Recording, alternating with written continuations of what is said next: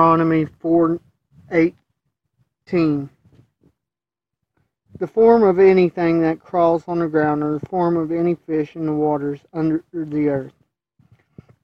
We're to worship the one who created, not the creation itself.